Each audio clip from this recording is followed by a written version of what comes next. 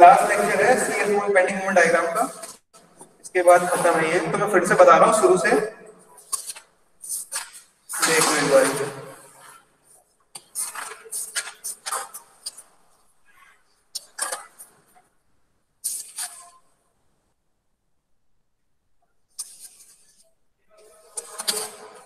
shear force bending moment diagram कौन से chapter में था?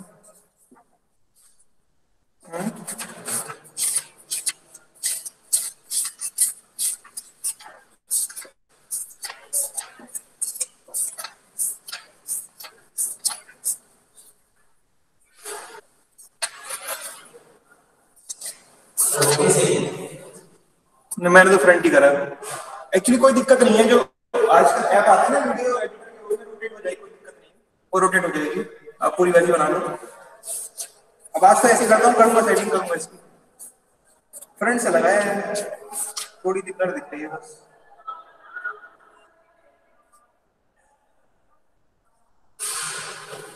ठीक है। चलो ओके तो आज हम डिस्कस करेंगे shear force and bending moment diagram तो सबसे पहले shear force bending moment diagram के कितने केसेस बनते हैं, हम इसको डिस्कस कर लेते हैं, ठीक है? तो first of all shear force bending moment diagram जो हमें पढ़ना है डिप्लोमा सेकंड ईयर में एमओएस सब्जेक्ट में मैकेनिक्स ऑफ़ सॉलिड में तो वो दो बीम के लिए पढ़ना है, एक तो सिंपली सपोर्टेड बीम और दूसरा है आपका कैंटिलीवर बीम ठीक है? तो सिंपली सपोर्टेड बीम और कैंटिलीवर बीम में दो केस बनते हैं, एक तो होता है हमारा पॉइंट लोड और दूसरा हमारा होता है यूटीएल एक लोड और होता है यूबीएल पहले हम पढ़ेंगे लोड कौन कौन से पढ़ना है? हमें शियर फोर्स मेंटेनेंस डायग्राम सबसे पहले लोड यानी कौन कौन से आपको पढ़ने हैं? तो आपका लोड है पॉइंट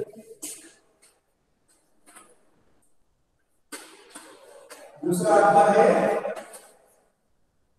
यूडीएल यूडीएल मतलब यूनिफॉर्मली डिस्ट्रीब्यूटेड इसका यहाँ पर यूडी है।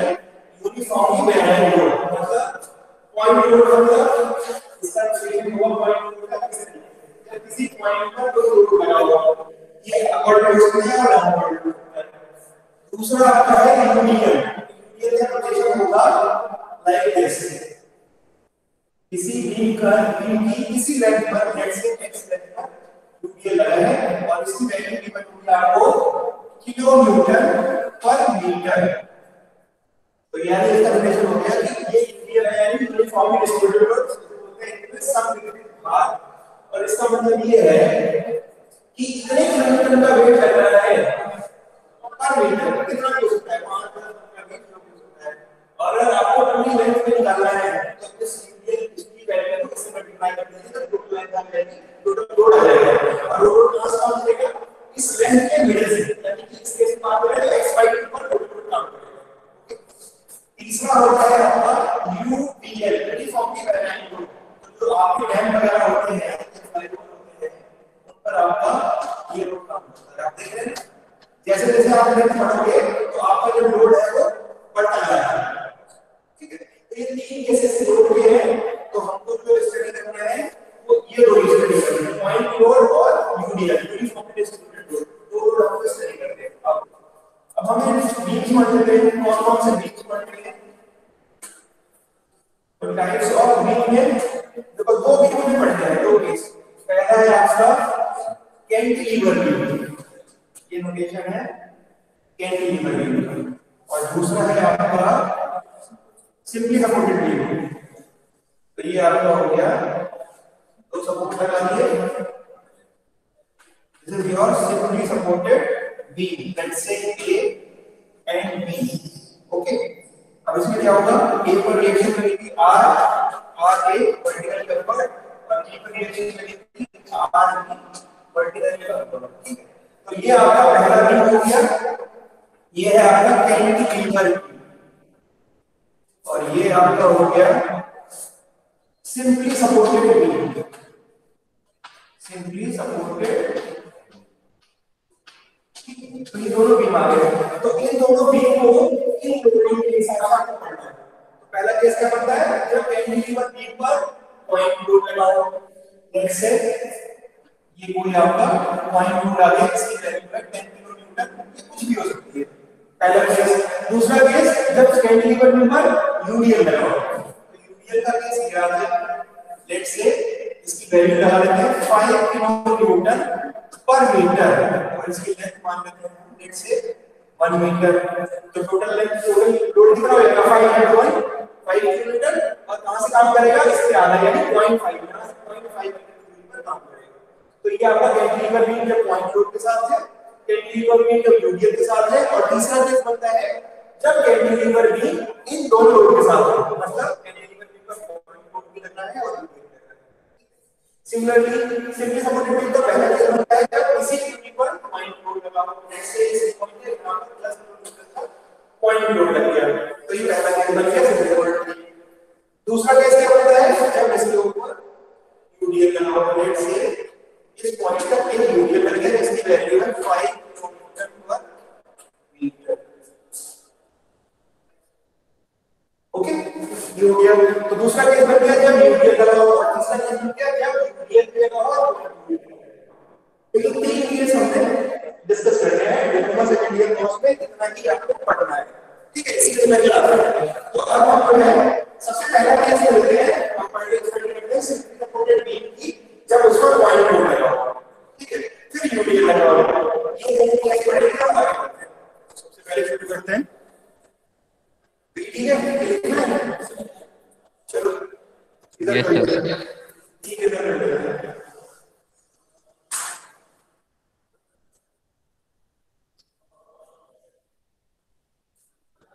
अब देखो पहले बात नोट कर लेना कोई दिक्कत नहीं अब देखिए केस 1 केस 1 क्या है सिंपली सपोर्टेड बीम है यानी simply supported beam point load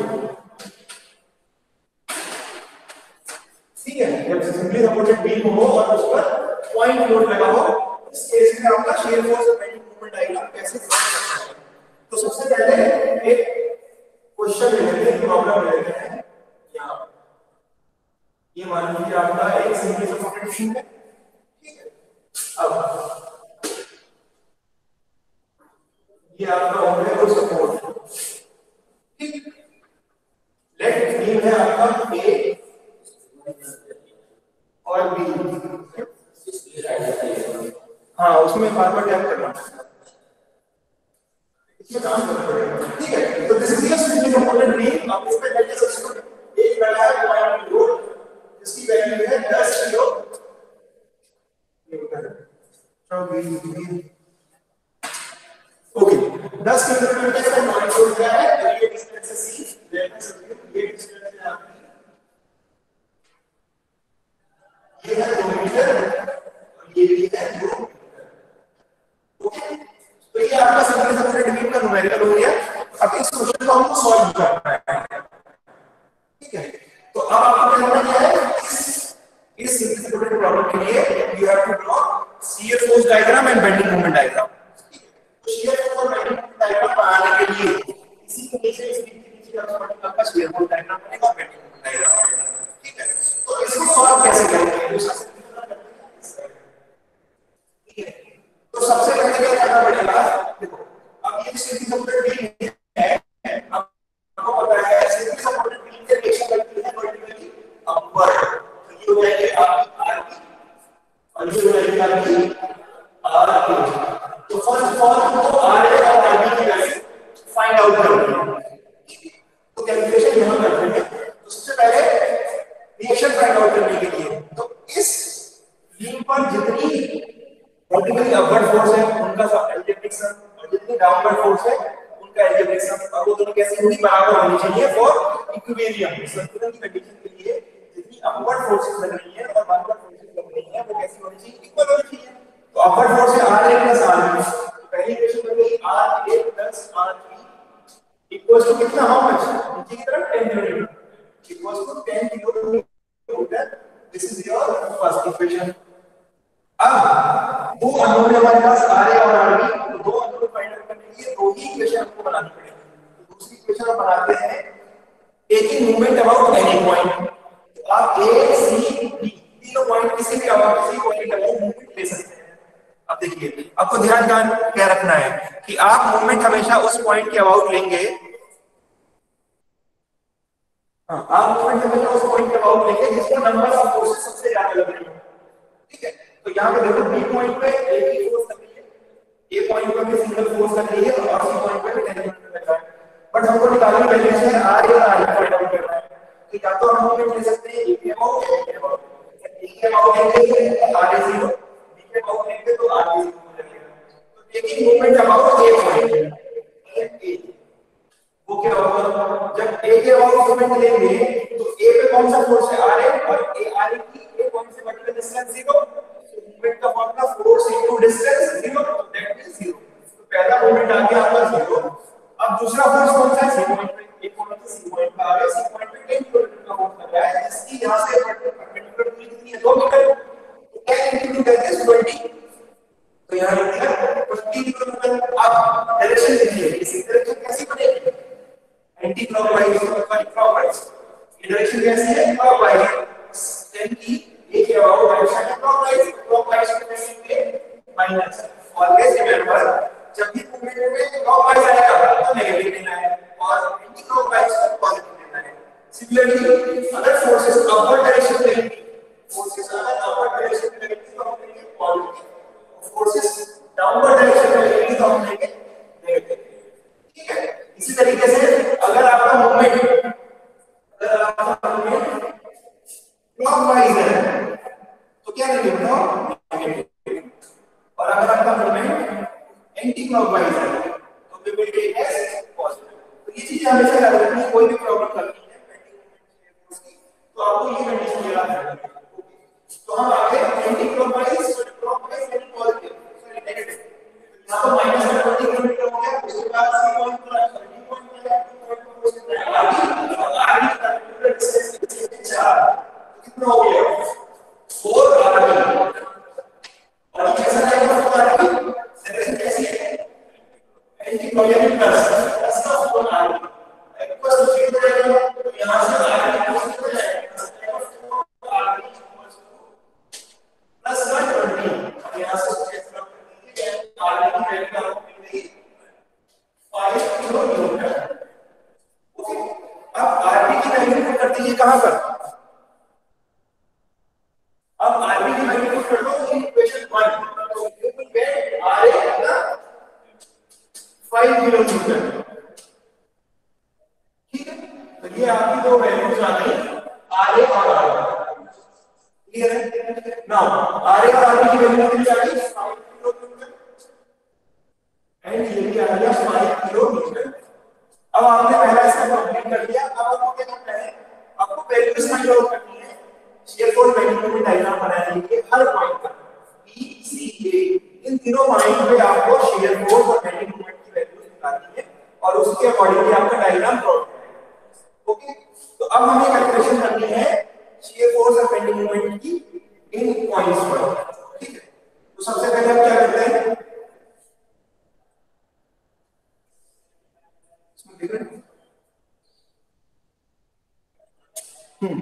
तो सबसे पहले हमें कैलकुलेशन करनी है शेयर फोर्स और बेंडिंग मोमेंट के तो अब देखो।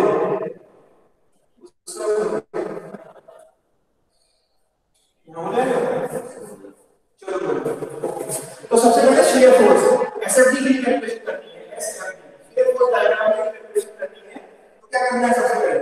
शेयर फोर्स डायग्राम के लिए तो shear force at B shear force at C shear force at B हम हमेशा शुरू करेंगे सभी न्यूमेरिकल को सॉल्व करने के लिए, हमेशा राइट साइड से शुरू करेंगे और लेफ़्ट साइड की ओर बढ़ेंगे। तो सबसे पहले shear force at B point फिर shear force at C point now shear force at A point okay तो ये तीन कैलकुलेशन हमको करनी है। शेयर ओके अब करना क्या है? देखो तो जब आप शेयर फोर्स बी पर निकालना है जब बी पॉइंट पे आप रहेंगे तो बी पॉइंट को कंसीडर करेंगे और बी की लेफ़्ट साइड से जितना भी बनेगा, उसको आप छोड़ देंगे उसको आप भूल जाएँगे यानी जब बी पॉइंट पे आप आ गए तो बी पॉइंट को कंसीडर किया, उसके लेफ़्ट पे जितनी पोजीशन है, सब छोड़ दिया सी पॉइंट और ए पॉइंट को आप भूल जाइए।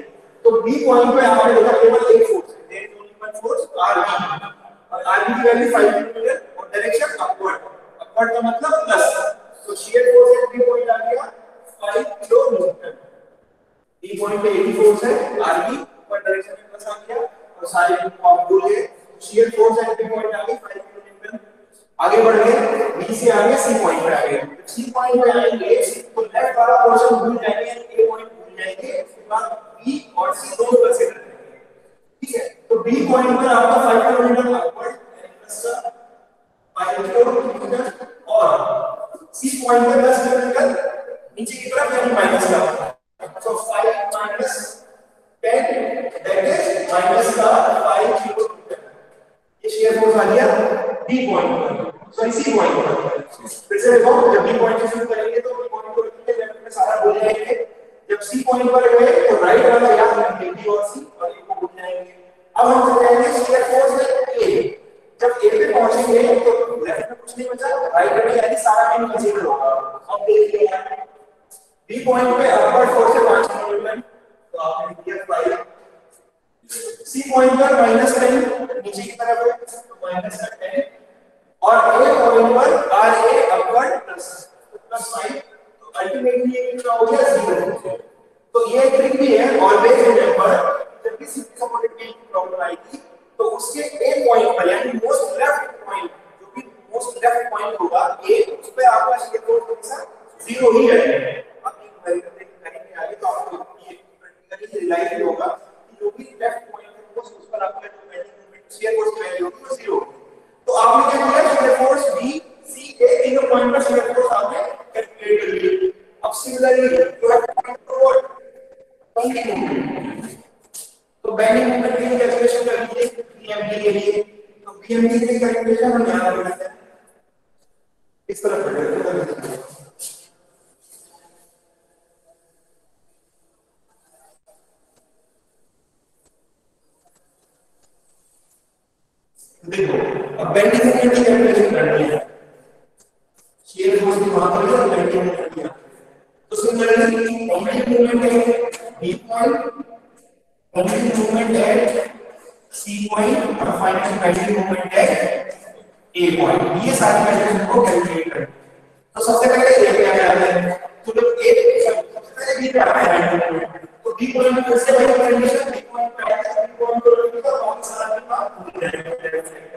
तो बी पॉइंट पे आता है कि बी पॉइंट पे there is only one force RB and perpendicular distance rb from b point is 0 तो bending moment at b point will be 0 force distance distance 0 होगी किलोमीटर मीटर ओके तो always remember कि जब भी आप simply करेंगे तो उसमें बेंडिंग मोमेंट की वैल्यू कितनी होगी?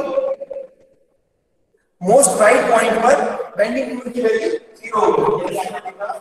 ए पॉइंट पर शियर फोर्स की वैल्यू 0 आ गई और बी पॉइंट पर बेंडिंग मोमेंट की वैल्यू 0 आ गई मतलब में जो राइट हैंड साइड रहेगी मोस्ट राइट हैंड साइड रहेगी उस पर बेंडिंग मोमेंट 0 रहेगा और मोस्ट लेफ़्ट हैंड साइड जो रहेगी शियर फोर्स उस पर शियर फोर्स की वैल्यू 0 क्लियर है? नाउ बी से सी पॉइंट पे चले गए।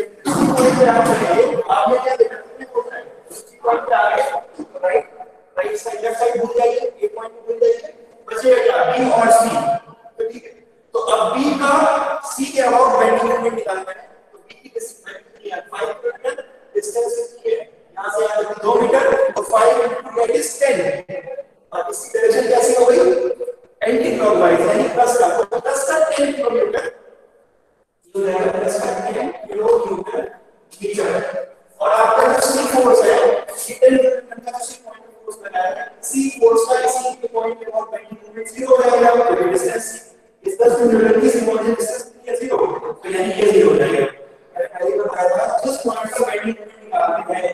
उस पॉइंट पे जितने भी फोर्सेस लगते हैं, उनका बेंडिंग मोमेंट ज़ीरो हो जाता है। नाउ अब हम पहुँच गए ए पॉइंट पर जब ए पॉइंट पे पहुँच गए तो बी सी ए तीनों पॉइंट पर सेट हो। गए ठीक है? तो उसके बाद अब पॉइंट पे आ गया हुआ है तो इसकी वैल्यू तो ज़ीरो हो जाएगी। जिस पॉइंट पे बेंडिंग मोमेंट निकालते हैं, उस पॉइंट पे आपका जिस पॉइंट पे निकालते हैं, उस पॉइंट पे जितने भी फोर्सेस हैं, उनका बेंडिंग मोमेंट ज़ीरो होता है। तो आर यहाँ ज़ीरो हो गया।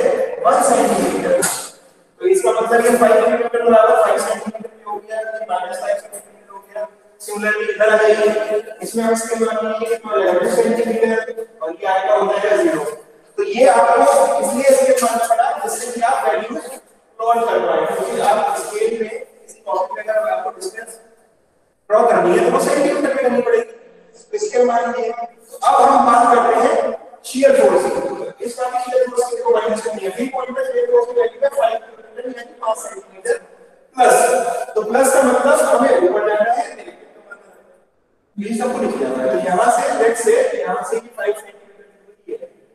दिस इज़ 5 सेंटीमीटर ओके उसके बाद सी पॉइंट पर कितना है? माइनस का 5 तो C point minus 5 let's say here this is your minus 5 centimeter okay now, a point पर shear force कितनी कितनी है 0 so this is your a point तो ये आपके पॉइंट्स आ गए ये पॉइंट आ गया सी को ये पॉइंट हो गया और ये पॉइंट हो गया पॉइंट हो गए तो अब जब भी आप पॉइंट लोड के केस में सिंपली सपोर्टेड बीम यानी पॉइंट लोड के केस में, जब आप शियर फोर्स डायग्राम प्लॉट करेंगे तो आपकी जो लाइनें ड्रॉ होंगी ये आप ड्रॉ करना है ना तो जो भी लाइनें आपको मिलाने के लिए पॉइंट्स को मिलाने के लिए ड्रॉ करनी है, वो कैसी करनी है?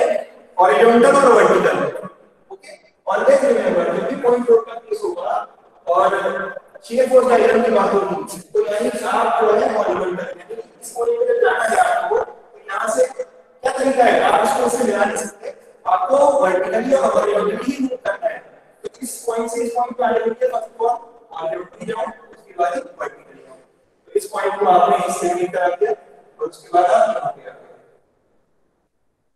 ओके पहले आप हॉरिजॉन्टली मूव करें इस पॉइंट पर सी पॉइंट पे आए और सी पॉइंट से आ नाउ आपको इस पॉइंट से जाना है इस पॉइंट पे तो क्या करेंगे डायरेक्ट नहीं जा सकते आपको हॉरिजॉन्टली जाना पड़ेगा फिर वर्टिकली तो का मतलब आप यहाँ से यहाँ रहे और उसके बाद आपने इसको मिला दिया तो this is your shear force diagram. ये आपका हो गया shear force diagram. और ये आपकी है पॉजिटिव वैल्यू ये फोर्स डायग्राम की, और ये है आपकी नेगेटिव वैल्यू क्लियर है सर अब उसके बाद हम लोग प्लॉट कर रहे हैं बेंडिंग मोमेंट डायग्राम तो बेंडिंग मोमेंट डायग्राम है ये बी पॉइंट पर बेंडिंग मोमेंट की वैल्यू कितनी है? 0 सी पॉइंट पर बेंडिंग मोमेंट की वैल्यू कितनी है? 10 प्लस का लेट्स से हियर और बाद में ए पॉइंट पर है 0 यानी कि आपने इन तीनों पॉइंट्स पर बेंडिंग मोमेंट की वैल्यू फाइंड आउट करनी है अब जैसे पॉइंट लोड में पॉइंट लोड की केस में शियर फोर्स डायग्राम में हॉरिजॉन्टल और वर्टिकल लाइन आ रही है अब इसमें क्या होगा shear force diagram bending moment diagram में लाइंस कैसी होगी? पॉइंट कैसे मिलेंगे लीनियर लीनियर का मतलब इस पॉइंट को इस पॉइंट से डायरेक्ट मिला दीजिए। इस पॉइंट को इस पॉइंट से डायरेक्ट मिला दीजिए। तो this is your bending moment diagram और कैसी है पॉजिटिव अगर बेस लाइन से नीचे डायग्राम बनना है तो वैल्यू बेस लाइन के ऊपर बनना है तो positive value this is your positive value this is object value for bending moment bending moment diagram में दो पॉइंट को मिलाने के लिए लीनियर लाइन यानी पहले पॉइंट को सेकंड पॉइंट से सेकंड पॉइंट को थर्ड पॉइंट से डायरेक्टली मिला दीजिए बैलेंस के लिए. And in shear force diagram, you can go only or only horizontally or vertically यहाँ पे देखो, इस पॉइंट को, इस पॉइंट से मिलाना था फ़र्स्ट पॉइंट को सेकंड पॉइंट से मिलाना पड़ा था, पहले आपने हॉरिजॉन्टली देन वर्टिकली उसके बाद इस पॉइंट को, इस पॉइंट से मिलाना था, पहले आपने वर्टिकली सॉरी हॉरिजॉन्टली उसके बाद vertically this is your shear force और बेंडिंग मोमेंट डायग्राम ओके तो इसमें तो मुझे लगता है आपको समस्या नहीं होगी। एकदम क्रिस्टल क्लियर हो गया। अभी पहला केस था आपका कि जब कैंटिलीवर बीम हो सॉरी और ये सिंपली बीम हो, और इस पर पॉइंट लोड लगा हो ठीक है ना? बताओ। क्लैरिटी मिल गई ना? ओके सब पढ़ाऊँगा लास्ट लेक्चर है आज का। तो तुम क्वेश्चन तो कर नहीं पाते हो ना बताओ तो सही। मैं कैसे छोड़ दूँ? मैंने इतनी मेहनत करी तुम्हें क्वेश्चन करके दिखाओ। छोड़ दिया इसको एक और लेक्चर आज है उसमें शुरू करते हैं यूनिट वन से रिवीजन करते हैं। ठीक है लास्ट में दो यूनिट अभी हुई है।